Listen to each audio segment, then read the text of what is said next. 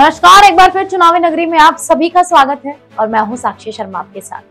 आज हम बात करेंगे उस विधानसभा सीट के बारे में जिसे बीजेपी का गढ़ माना जाता है। आज हम बात करेंगे रानीवाड़ा विधानसभा सीट के बारे में। राजस्थान में 25 नवंबर को विधानसभा चुनाव होने वाले हैं और 3 दिसंबर को परिणाम घोषित हो जाएँगे। एक तरफ़ जहाँ बीजेपी मिशन राजस्थान को लेकर पूरी तरह से कमर कस चुकी है तो वहीं दूसरी तरफ़ कांग्रेस ने सरकार रिपीट को लेकर पूरी ताकत झोंक दी। रानीवाड़ा विधानसभा सीट पर कांग्रेस और बीजेपी दोनों ही पार्टियों ने उम्मीदवारों की घोषणा कर दी। कांग्रेस ने यहाँ से रतन देवासी को फिर से मौका दिया है तो बीजेपी ने नारायण सिंह देवल को फिर से मैदान में उतारा है। सियासी मायने में राजस्थान की रानीवाड़ा विधानसभा सीट काफ़ी अहमियत मानी जाती है। यह सीट लगातार भाजपा का गढ़ रही है।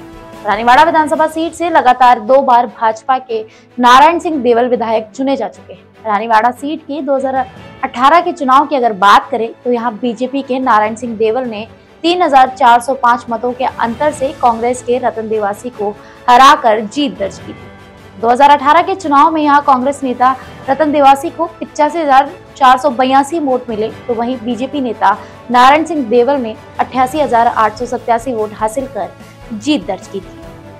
रानीवाड़ा विधानसभा सीट पर बीजेपी का दबदबा है और वर्तमान में यहाँ नारायण सिंह देवल विधायक है।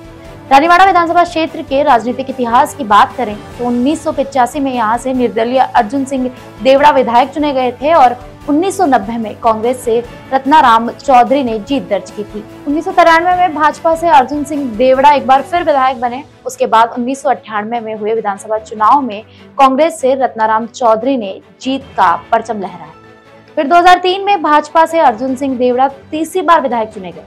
वहीं 2008 में कांग्रेस के रतन देवासी यहाँ से विधायक चुने गए। इसके बाद 2013 में भाजपा से नारायण सिंह देवल इस सीट पर काबिज हुए।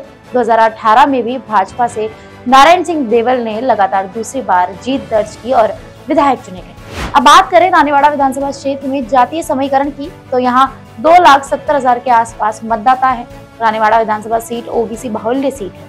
राजपूत ब्राह्मण और रावणा राजपूत भी यहाँ पर प्रभाव रखते हैं।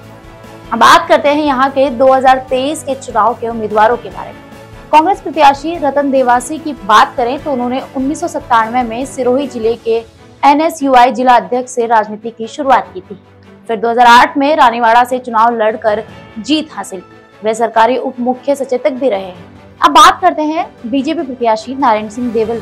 तो नारायण सिंह देवल लगातार रानीवाड़ा से दो बार विधायक बने और वर्तमान में भी वो विधायक। वे 2010 से 2014 तक जालोर जिला अध्यक्ष भी रहे। रानीवाड़ा विधानसभा सीट राजस्थान की महत्वपूर्ण विधानसभा सीट इस बार रानीवाड़ा विधानसभा सीट के परिणाम किस पार्टी के पक्ष में होंगे, ये तो जनता तय करेगी।